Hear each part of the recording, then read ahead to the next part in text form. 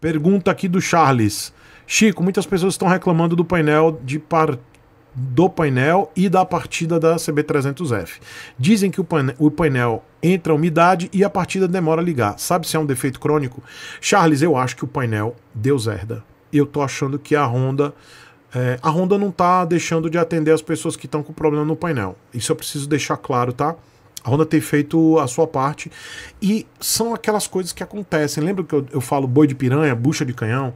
Todo mundo que compra os primeiros anos, o primeiro, os primeiros 24 meses de um modelo, correm esse risco.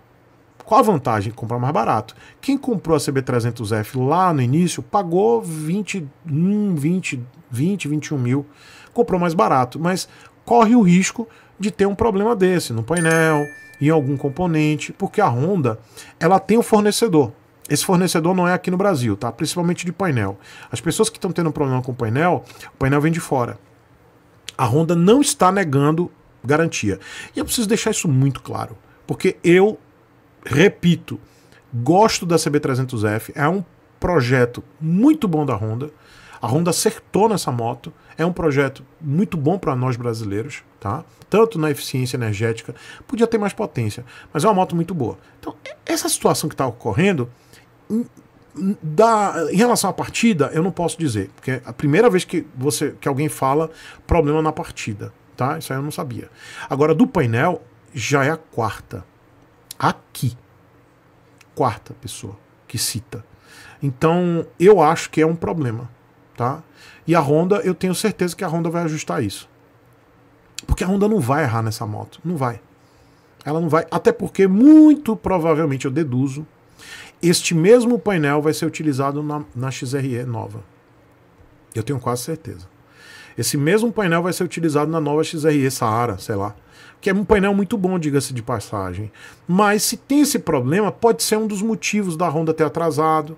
Alguns outros detalhes, eles podem estar ajustando a produção, porque, gente, cada recall desse é dinheiro perdido. Então, é, são ajustes, tá? Não estou dizendo que a moto é porcaria, que a moto vai quebrar. Se a Honda tivesse se negando a trocar uh, os painéis com defeito, a gente ia para cima da Honda, mas não é o caso. A Honda tem trocado, tem demorado Tá? Tem pessoas que estão aguardando 60 dias para o painel chegar. O painel não é daqui do Brasil, não é fabricado aqui, é fora. Mas a Honda não está negando a troca. Então, você que comprou uma CB300F, fique atento se o painel está entrando água, fique atento se está dando aquela mancha, parece um arco-íris dentro, fique atento, tá? E não saia da garantia da moto, não saia. Você que comprou esse primeiro lote, quem está assistindo no futuro, comprou o lote até 2024, até o final de 2024, ou seja, janeiro de 2025, não saia da garantia.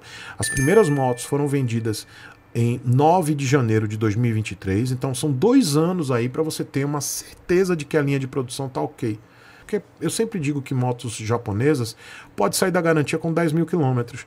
Mas no caso, eu vejo uma exceção porque é uma moto de início de produção, a CB300F. Então problemas vão ocorrer na linha, problemas vão ocorrer porque esse painel é do zero, tá? Esse painel é painel novo.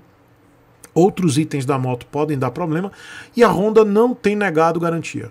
Não tem negado. Tá? Então isso aí você vai demorar para receber, mas a Honda não está negando. Então eu preciso dizer isso, a Honda tem feito o trabalho certo e essa moto é, vai dar certo. Tá? Você que comprou, não fica desesperado, não fica, meu Deus do céu, acabou meu mundo. Não. Se der pau, você está na garantia, a Honda vai cobrir. Tá? A Honda vai cobrir, mas fique atento, tá bom?